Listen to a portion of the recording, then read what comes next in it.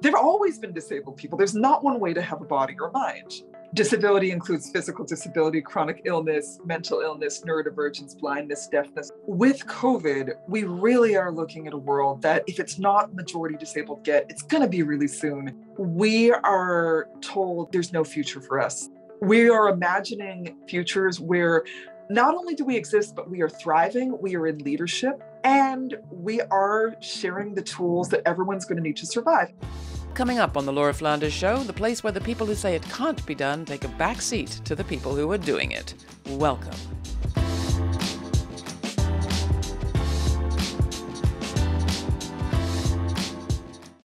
The best of times, the worst of times. The COVID pandemic has been all that and more. I say has been because while our media and some of our politicians like to talk about returning to quote unquote normal, COVID's still with us, in our hearts as well as in our daily lives. Like it or not, the virus is still out here. Many are still sick and dying, and the vulnerable, as we call them, are especially vulnerable. But didn't we all learn something about being vulnerable during the last few years? At the height of the pandemic, didn't a whole lot of us figure out how to make life safer and even better for our vulnerable friends and relations, and even for our vulnerable selves?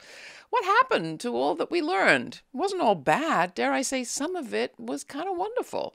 Leah Lakshmi Piepzna Samarasinha spent her two COVID years of what she calls disabled isolation writing prophecies, love notes, and mourning songs, which she's now gathered into a book, The Future is Disabled Prophecies, Love Notes, and Mourning Songs. It came out at the end of 2022. What if in the near future the majority of people will be disabled? And what if that's not a bad thing, she asks? What if disability justice and disabled wisdom are crucial to creating a future in which it's possible to survive fascism, climate change, and pandemics, and to bring about liberation for all? Leah is a writer, poet, disability and transformative justice movement worker her preferred pronouns are she and they. The book is published by Arsenal Pulp Press, an independent queer of color led press, and I am very glad it brings her back to our show. Leah, welcome to the program. I am oh. so glad to see you again. Thank you, Laura. It is always such a huge pleasure. Let's start with us describing ourselves. Right. So this is something that a lot of blind and low vision people and folks with other disabilities have asked for for years because if you're blind or low vision, um, you know, it helps people to be on an equal footing with people who are sighted to know what they're seeing when somebody's talking or on screen. And it's just a really easy way of providing access. If I asked you to visually describe yourself, what would you say? Yeah, so I would say, hi, my name is Leah Lakshmi Samarasinha. I'm a mixed race, light brown skin, Sri Lankan and white, um, young looking middle aged person with brown and purple curly hair on one side of my head and a very overgrown fade on the left side of my head. Um, I'm wearing purple lipstick, rose gold metal glasses, a turquoise kind of crop top, and I've got a piece of artwork behind me by the artist Jen White Johnson that says create more anti-ableist spaces. I love it. All right. Well, I am then a sort of whitish, blondish, 60-ish woman eh, and I'm in a room with a bookcase behind me and a Yoko Ono piece of art that says imagine peace on the back of my wall. For those who don't know, can you define the term disability justice for us? Sure. Disability justice is a movement building framework that was started in 2005 by people like Leroy Moore, Patricia Berne, um, Mia Mingus, Stacey Milbern, um, Eli Clare. And it basically builds on and exists in the cliffhangers of the disability rights movement. So, disability rights very much focused around laws, policy changes, things like that. Really important. Disability justice is an intersectional movement that centers the lives and leaderships of Black and Brown and queer and trans disabled people. And that really changes what both our visions for the future are and what we understand as disability issues right? So a disability justice issue would, disability justice would say that, for example, police violence is a disability justice issue, because as I've said, and as we know, 50% at least of folks murdered by the cops are both black or brown and disabled, deaf, chronically ill, autistic. So we can't end police violence and murder without dismantling racism and ableism at the same time. I sometimes find it helpful to kind of center us in, in, in where we are and what we left before we came to this conversation. Uh, I have on my mind all the things I have to do. Um, what about you? it feels odd to almost miss some parts of 2020. I don't miss most of them, but I'm going to say what a lot of people have said, which is that there was more of a mass sense of we look out for each other in 2020 and we're trying to work to protect each other. And where we're at now is what I and a lot of other activists are calling the great gaslighting, where there's tremendous pressure from the state and corporations to be like, oh, America, go back to work, go shopping. There's no pandemic here. Except there's so many of us who know that that's not true. And for those of us who are, you know, disabled, high risk, immune compromised, parents, elders, what have you, all of the above, we're like, wow, I'd love to go to the movies. There were some kind of wonderful things about the last few years that we've been through. Can you describe one that stands out for you? It is really kind of shocking to me when I read it and I read from it to be like, the stuff I'm describing that's from 2020, 2021, like massive mutual aids, like things like I'm thinking about caremongering, which was a network started by Indigenous and Sikh women and Two Spirit people in Toronto and then spread all across Canada at its height, the Toronto caremongering had 20,000 people. They didn't know each other. And it was a lot of people who did not have a huge community or family, but it was just people being like, I made 40 packets of butter chicken and rice, and I'm in this neighborhood, and anyone can come get it. You need diapers? Great. I've got some extra ones. And the people who ran it really pushed back when people were like, oh, well, do you really need those diapers? They're like, nope, we don't question people. It's radical hospitality. And it was beautiful. It was really beautiful. And it kept so many people alive and joyful because they were like, God, I've got food and love. And I'm not, I mean, I know so many people who felt more isolated prior to COVID. They're like, I've just been, you know, single parent, sick, what have you. Nobody cares. And wow, all of a sudden there are these mutual aid societies that are coming through. One of the things you do in the book is describe what it takes to create community, community with disability justice front and center. And and some of the descriptions are really simple. Um, but again, I think you break a lot of mystique about what it would be to create disabled community or community that doesn't leave disabled people behind. Um, you you talk about um, people, you know, just making their lives inclusive and reaching out to you and others. Can you give us some examples for people who don't think of themselves as disabled? What can we do to make sure we're not missing out on the pleasure of being with you all? Sure. Well, I want to say, first of all, that I mean, I think the UN statistics are that 30% of the world is disabled. Disability includes physical disability, chronic illness, mental illness, neurodivergence, blindness, deafness, lots of stuff. And a point I really want to make that's you know in the title is that with COVID, we really are looking at a world that if it's not majority disabled get, it's going to be really soon. You know, care often gets talked about as the soup and the grocery drop offs and that let me give you a ride. And that's all really important. And what also counts as care is doing things like the massive campaigns that disabled people did and are doing you know, like what Alice Wong of Disability Visibility Project did with High Risk California, which is a project she started when early in the vaccine rollout, disabled people were not prioritized. And we were like, we've been inside. She was like, I've been inside for a year, literally you know, and she and other people organized to get Governor Gavin Newsom to and the public health departments to be like, okay, wait, no, we are not going to put you to the bottom of the list because we think your lives don't matter and you're going to die anyway.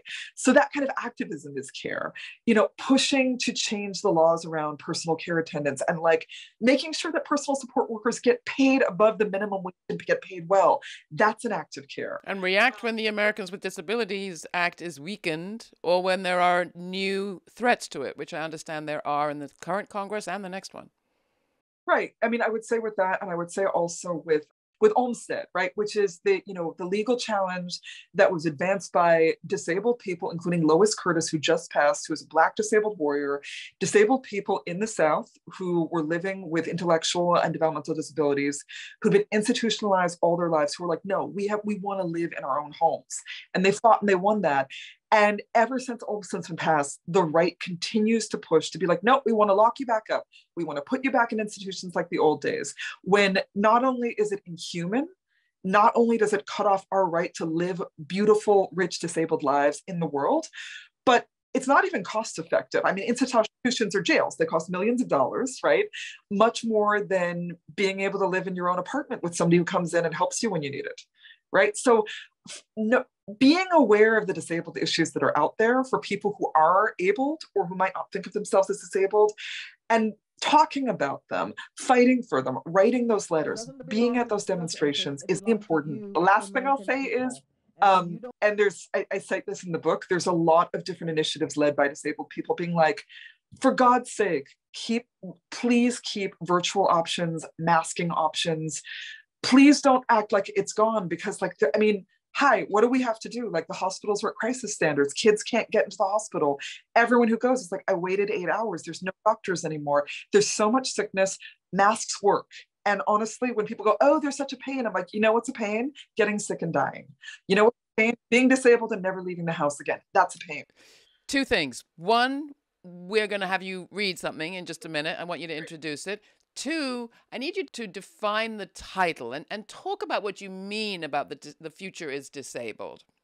First of all, I want to say that Alice Wong um, used it first as a phrase and generously gave me permission to use it as a title of my book. I mean, I think the bare bones definition is that in the near future, as I've said, most of us are going to be disabled numerically, right?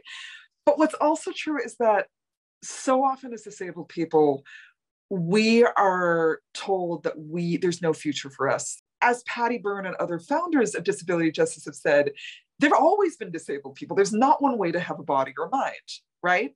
And we can be angry at things like war and colonization and environmental racism that do fuel some disabilities, but that does not mean that as disabled people, we're the broken toys, you know, in the box, right? Like, and that we're useless and we need to get fixed.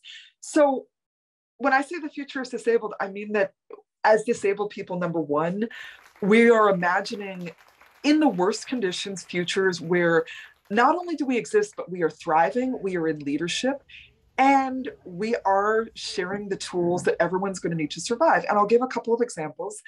Um, you know, I lived in the West Coast. I've lived in the West Coast for 15 years of my life. And for the last five years, there's been intense wildfire smoke emergencies if anyone's used a Corsi Rosenthal box, which is that hack where if you can't afford a HEPA filter, you go and you get a furnace filter and you put it on your box fan. Disabled people invented that. Disabled people were the first people who were like, oh, there's wildfire smoke. Here's a mask. Here's the different kinds of masks. Here's how you clean the air in your house. Here's how you take care of your mental health because it's very stressful when the sun is blood red, right? And here's how you take care of each other, right? Everything from that to the kinds of radical shifts towards care that is abundant is stuff that we've been practicing and it's stuff that more and more people everyone's going to need that if we're going to make it. You say there's a connection between the future being disabled and our i don't want to say epidemic because it's not a natural phenomenon but our practice of mass incarceration. Oh yeah i would say definitely because i think that mass incarceration is disabling if you're not disabled when you go in. And we know that so many disabled Black brown folks are either victims of police brutality or they're imprisoned.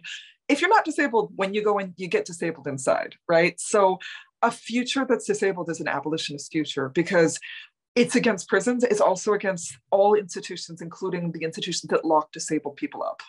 I'd love you to read a part uh, uh from the book. And this is a, a, a, piece that begins This potential revolution isn't just going to happen. In it, you talk about crip doulaing. Um, can you just tell us what that is in case people don't know? Like any doula during a birth, um, we know that when somebody's laboring alone to give birth, it's often a horrible experience. It's really hard. And just the presence of another person there holding that space and being like, we believe in you changes the way that birth feels. Stacey Park Milbern of Beloved Memory invented the term crip doulaing. And she was like, that's what you do is when another disabled person teaches you. This is how you drive a wheelchair have sex accept help manage your care attendants be a care attendant. This is how you work. This is how you write a whole book five minutes at a time for bed. This is how you live and it's not a fate worse than death. It's actually awesome. This is from also from the last chapter and it's from a subsection called scaling up crip doulaing the potential revolution isn't just going to happen. There will be, already is, a need for crip doulaing on a massive scale, linking newly disabled people living with long COVID with people who've been sick and disabled longer, sharing our skills in living with chronic illness and fighting the medical industrial complex. In particular, there are people in chronic illness community, like folks living with chronic fatigue immune deficiency syndrome and multiple chemical sensitivity and late stage Lyme disease, who've done community research on post viral syndrome that millions of people living with long COVID desperately need access to. Our disabled histories of activism and survival skills are crucially needed. And most people outside disabled and chronically ill community don't even know that they exist. Thank you for that and for that reading. If we were to um, doula perhaps a, a new world into being, a lot of it would be bringing into being things that don't exist yet. But you mention in the book some things that do exist right now. You want to name a few? I'm thinking particularly of your um, library of things. Yes. Um, so I wrote about when I was living in Washington, um, the public library system in Thurston County had these libraries of things, which included they had libraries of adaptive devices. So you could just go and check out wheelchairs, screen readers, um, augmented communication devices, things that you could use like in large playing cards. If you're low vision, you can play poker, um, adaptive video game controllers, and it was all free.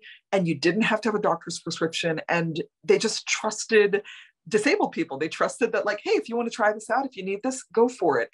And it's so different than the current system where, you know, so many people I know can't even get a doctor's note saying, yeah, this person has Lyme disease or cerebral palsy and they need this accommodation at school or at work, right? Because of the way the medical system's set up.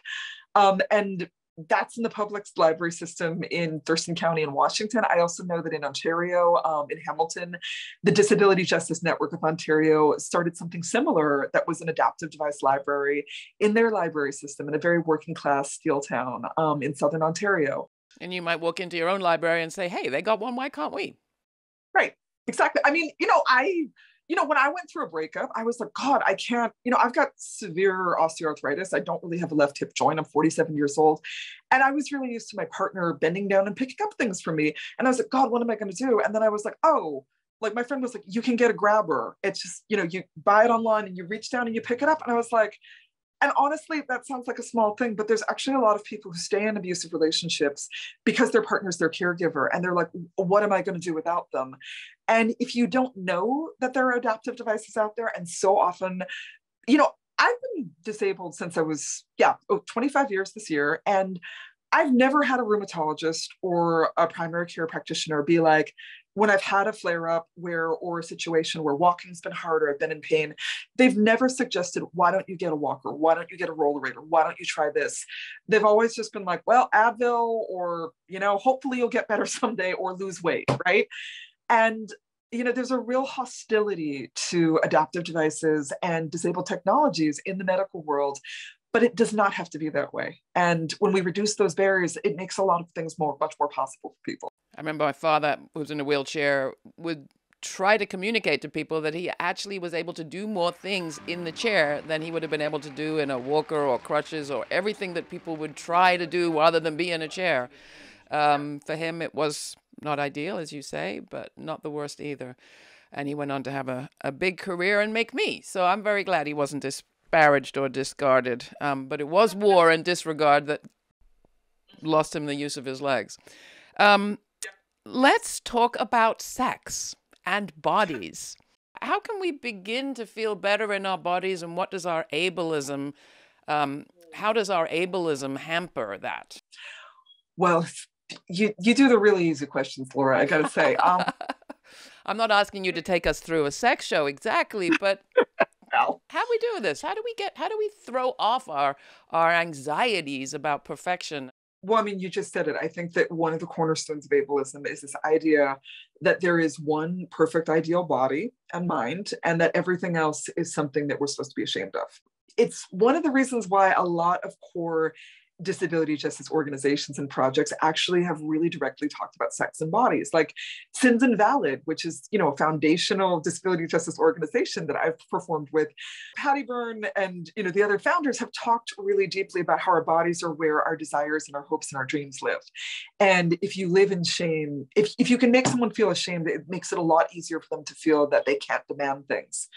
So i think how do we how do we undo it? I think that one of the gifts about being in disability community is you're like, wow, nobody's body is like the white, skinny, able, cisgendered, masculine, you know, ideal.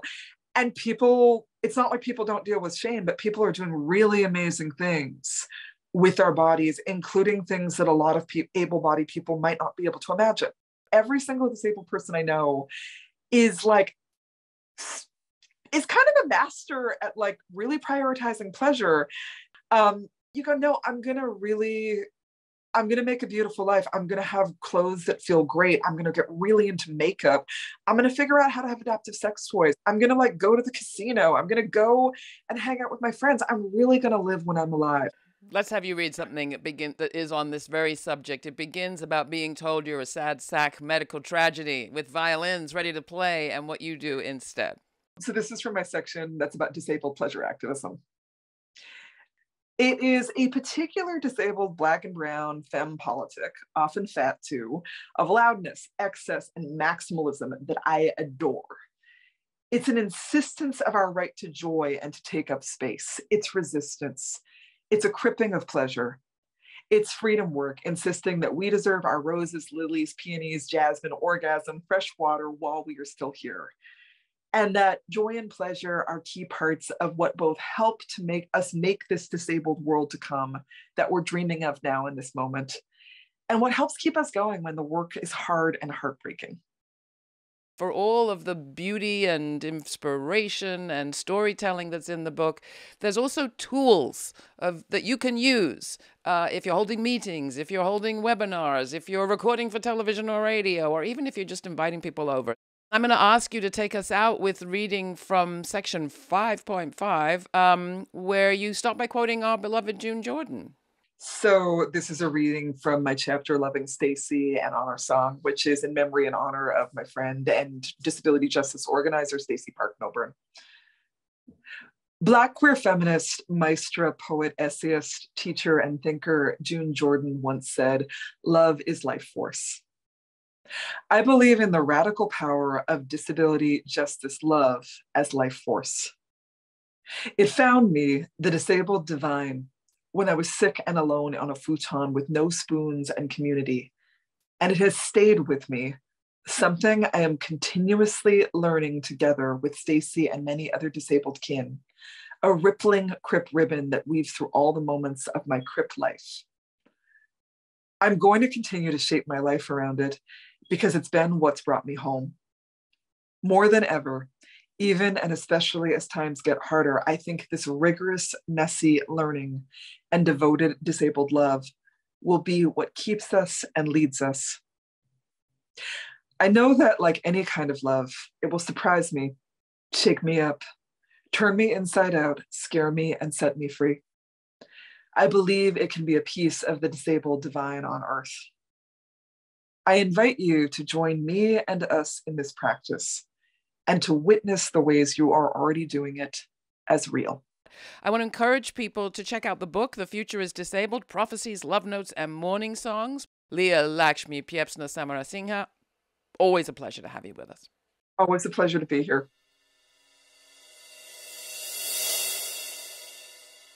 Identity or idea? What is disability exactly? Is it an identity that pertains to a certain group of people with clearly defined and definable characteristics, or a much more porous idea? As a group, disabled people have certainly been treated differently. In the workplace, for example, employers with certain special certificates can set up sheltered workshops where disabled workers are paid much less than the federal minimum wage.